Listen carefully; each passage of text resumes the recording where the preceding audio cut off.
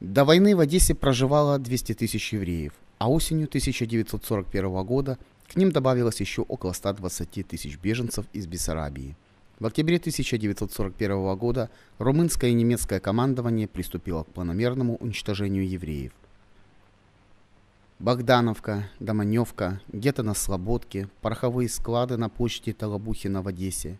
Эти названия скрывают за собой сотни тысяч расстрелянных, сожженных заживо евреев – Стоит отметить, что на момент освобождения Одессы от нацистских оккупантов в городе осталось живых всего 600 евреев, 27 января 2013 года, в День памяти жертв Холокоста, группа служения «Молитва за Израиль» из еврейской мессианской общины «Свет Мессии» совершила молитвенную поездку по местам массовых расстрелов евреев, чтобы молиться о жизни и спасении евреев Одессы и Украины. Господи, просто понимание того, что ничего не было бесследно, Господь, всем людям, живущих в Одессе, Отец. Шалом, меня зовут Борис. Сегодня 27 января, день памяти жертв Холокоста. И мы ездим по местам, где уничтожали евреев в городе Одессе. Молимся за жизнь, за пробуждение в этом городе, за покаяние евреев. Молимся также о, о том, чтобы Бог простил невинно пролитую еврейскую кровь в нашем городе. В этом городе. Зажгись, Господь. Аллилуйя. Вместе с верующими из мессианской общины в молитвенной поездке были представители Церкви Слова Жизни.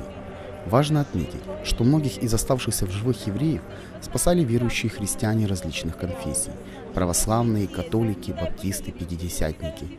Эти люди явили собой истинный пример христианской любви. Шалом, меня зовут Кира, я из Церкви Слова Жизни. И в этот день мы э, собрались вместе вот э, с командой, с группой э, верующих, э, и мы ездим по местам э, в нашем городе, где происходило уничтожение евреев. И на самом деле это очень такой запоминающийся день. Э, эти мест, все места, где мы были, и где мы просто просили милости для Одессы, потому что просили о том, чтобы Бог он простил э, и помиловал этот город, для того, чтобы благословение Божие оно пришло.